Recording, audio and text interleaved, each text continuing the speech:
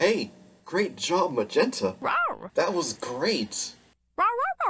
Oh, I think Magenta sees something. Really? What could it be? A clue!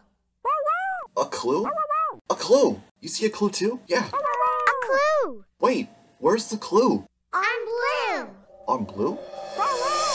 Oh, blue's our clue. Our third clue. Oh, you know what you need?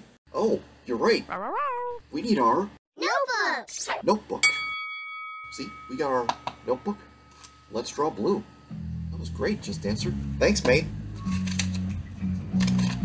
So, a curvy line for her ears, around like this for her face, her eyes, her nose, an oval shape for the body, four legs, her tail, and a spot on her back.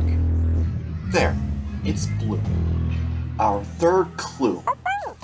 Hey, we have all three clues. We're ready to sit in our Thinking chair! thinking chair. Let's go.